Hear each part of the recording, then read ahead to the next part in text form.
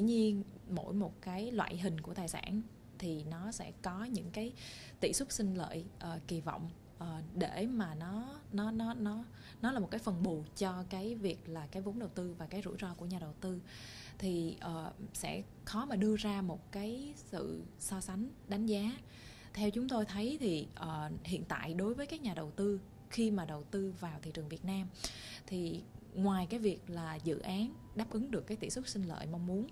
thì cái mà họ đang nhìn vào thị trường Việt Nam đó là một cái khoản đầu tư mang tính dài hạn, tức là đó là cái tiềm năng tăng trưởng của cái giá trị tài sản hơn là cái việc là hiện tại đầu tư và cái mức sinh lợi là bao nhiêu thì chúng tôi thấy là các nhà đầu tư nước ngoài họ có một cái nhìn nó, một cái đánh giá đầu, khoản đầu tư của họ nó mang tính là dài hạn hơn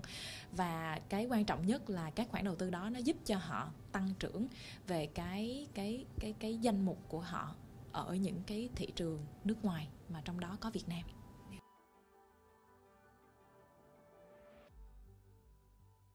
Trong những tháng đầu năm của năm 2018, uh, ờ, chúng tôi quan sát là thị trường vẫn có những cái chuyển biến tích cực về hoạt động M&A uh,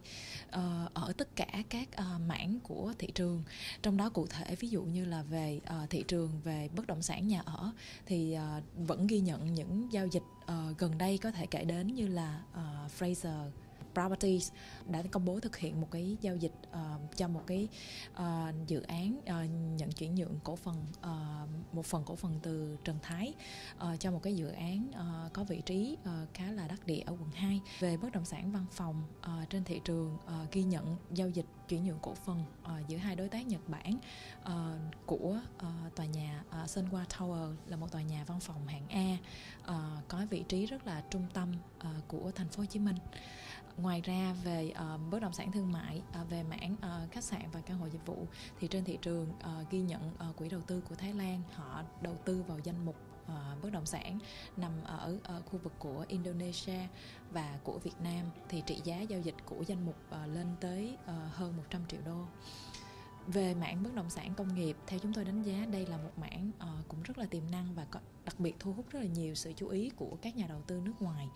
Trong đó có thể kể đến như là Warburg Pincus uh, đã um, ký thỏa thuận hợp tác chiến lược để cùng uh, BKMX uh, để uh, phát triển uh, về cái mảng về uh, bất động sản công nghiệp.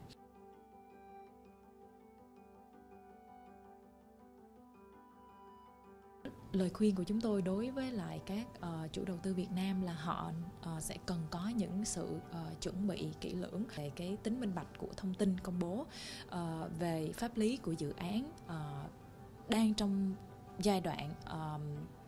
có những cái phê duyệt. Đối với các nhà đầu tư nước ngoài uh, bởi vì cái uh, cái cái dòng vốn hiện tại uh, ở các nước trong khu vực cụ thể như là từ Nhật Bản, uh, từ Hàn Quốc, uh, từ Singapore uh, những cái khu vực châu Á thì cái dòng vốn đó hiện tại họ đang rất là quan tâm để mà đầu tư vào thị trường Việt Nam thì chúng tôi hy vọng rằng những nhà đầu tư họ sẽ thông thạo về thị trường thông thạo về cái uh, về cái pháp lý của thị trường uh, đặc biệt là thị trường Việt Nam là một thị trường uh, đang trong giai đoạn phát triển thì đó là những cái yếu tố cần thiết đối với những nhà đầu tư nước ngoài nếu muốn đầu tư vào thị trường Việt Nam.